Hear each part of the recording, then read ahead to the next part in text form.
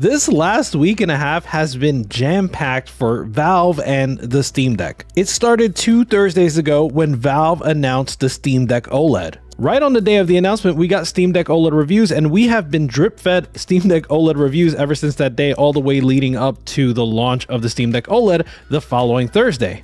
Later that night, Valve announced that Steam OS 3.5.5 is finally landing in the stable channel. And if you don't know what Steam OS 3.5 is, it is the biggest Steam Deck update we've seen since launch. It's about a year in the making. I'll cover some of the details later on in this video.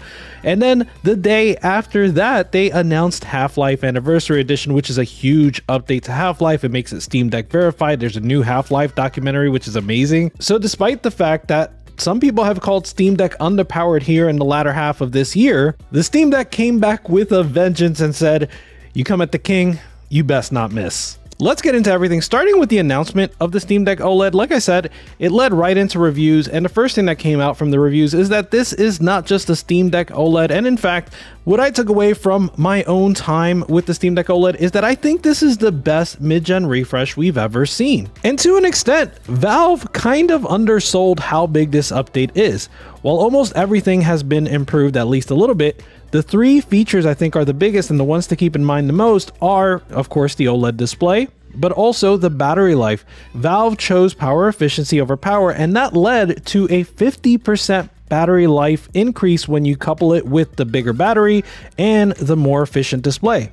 And then the third big feature to keep in mind is that the display is now 90 hertz. Now, of course, that's not necessarily going to affect your gameplay very much when you're playing high-end, modern AAA games, but it does affect your gameplay in general. I played a lot of Spelunky 2 and these sort of lo-fi retro shooters and both really benefited from the improved responsiveness that a 90 Hz refresh rate brings you. Because as you know, it's not just about how fast the game is rendering, but also how fast the game is responding to your inputs. But aside from how great the new Steam Deck OLED is, Valve also announced the limited edition Steam Deck OLED that we were also able to buy on November 16th. I've got to say, against my better judgment, I did place an order on the limited edition. Listen, it looks like a beautiful piece of kit with the sort of transparent, translucent shell in all of those gorgeous orange accents that really help to celebrate, I think, this 25th anniversary of Half-Life. So I'm pretty excited to get it. I'm pretty excited to showcase it to all of you. But yeah, that's not to say that the process of ordering a Steam Deck OLED limited edition was without its problems. Now, in general, it does seem like Valve anticipated that there was going to be a high amount of volume. They did tweet out beforehand, they said,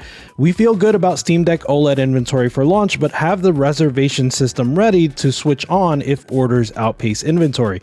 That said, we are producing units at a quick pace and we will be restocking heavily every week. They also said Steam Deck OLED limited edition will not go into reservation mode. Production is complete for this limited run, and once they sell out, they will be gone.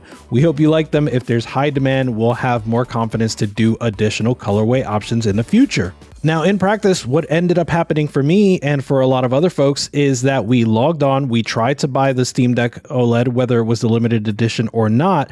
Many of us got it in our cart, clicked pay, put in shipping details, and when we clicked continue after putting in shipping details, we were met with some sort of error. Within minutes, the On Deck account tweeted, Hi, we're working on the Steam store checkout issues. Apologies for the inconvenience. Please hang on while we fix things on our end. Now, of course, there was going to be no way to know when they would fix those issues, so all I did was keep trying to complete my order until it went through. Finally, just as it looked like it was about to go through, I got the final error that said that it was out of stock. The error said your order cannot be completed because one or more items in your cart is currently out of stock. Please try again later. Even though it said please try again later, at this point I thought all hope was lost because this was a limited edition product. I didn't think that they would have any more inventory, but it seems like Valve did inventory in waves. And so when someone else said it was back in stock, I immediately tried to place an order and it worked out for me. And it already says that it's being shipped. So cross my fingers that it gets here by the time you're watching this video. In any case, I know a lot of you were met with the same issues. You may have had trouble completing your order. Hopefully you were able to nab whatever you were looking for. But all in all, it was something that was really exciting, right? It harkened back to all of us uh, camping out in front of a store, waiting for our favorite console release there was just this feeling across Twitter and other places that, yeah, we were all waiting for the same thing. So that was really fun to experience. I'm glad you all were there with me. And I honestly can't wait to see what this limited edition looks like in person. More importantly, it does seem like it sold very, very well, which I hope does mean that we will see more colorways in the future. I also do hope, and I don't know if Valve would do this, maybe it would take away from the allure of a limited edition, but I also do hope that Valve releases shells for these limited edition Steam Decks because I don't need any more Steam Decks, but I would love the opportunity to install these gorgeous cases as they come along. Again, I think that would be a really great idea for Valve, and I think it really goes with their sort of consumer centered approach. By the way, it is important to point out that that really wasn't possible this time because this shell is for the Steam Deck OLED and the Steam Deck OLED and Steam Deck LCD internals do differ quite a bit. That's really important to bring up because a lot of people were hoping that they could just take their Steam Deck LCD and upgrade it to a Steam Deck OLED, like maybe they could replace the display or things like that.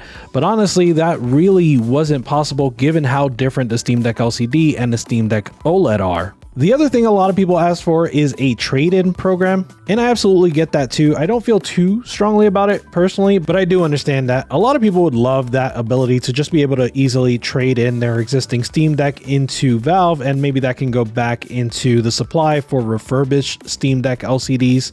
I think logistically that would be pretty challenging for Valve to implement, but it would be interesting nonetheless. And if anyone were to do it, it does seem like something that Valve would do. So one thing about Valve having to now ship the Steam Deck OLED is that a lot of the software that supports the Steam Deck OLED is all in SteamOS 3.5, which up until last week was in the preview or beta channel.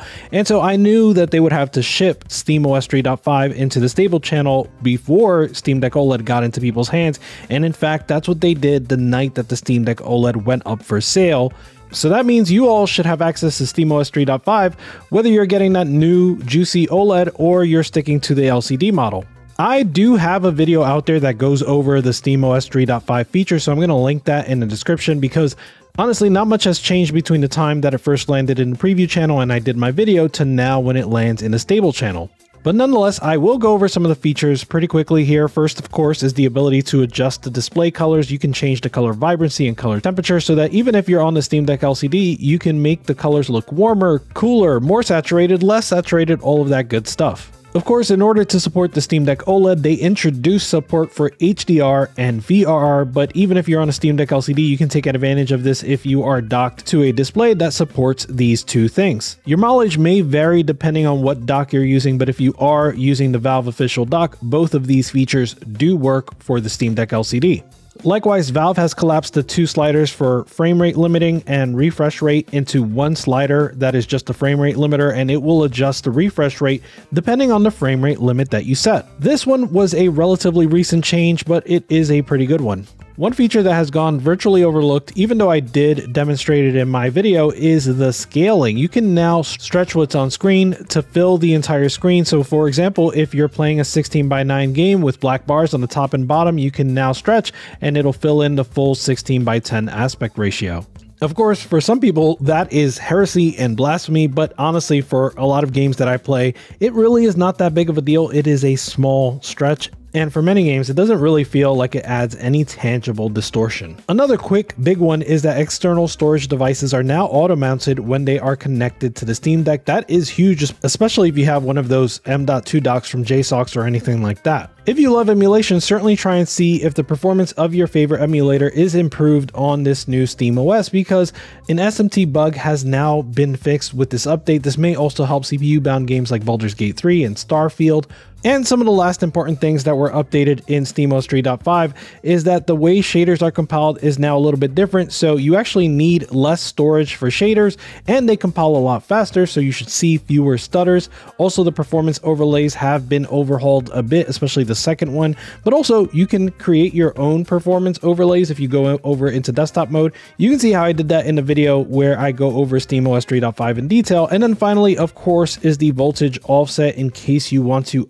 undervolt your Steam Deck. Once again, that is regardless of whether you have the LCD or the OLED model. So yeah, this is all pretty awesome. SteamOS 3.5 has literally been over a year in the making. Who knew that all this time it was leading up towards Steam Deck OLED? It's great to see Steam Deck OLED here, as I mentioned earlier, but it's also really great to see SteamOS 3.5 finally land in the stable channel. Now it's on to SteamOS 3.6. Who knows what Valve is cooking up next? They really have a habit of looking towards mods and things like that for inspiration and really replacing those features that community members may have implemented. So personally, I would like to see, and I kind of expect them to add the ability to record like the last 30 seconds or something like that, which is something that is already implemented by a Decky plugin called Decky Recorder. I'd love to see an official implementation from Valve, so maybe who knows, SteamOS 3.6 brings us the ability to record.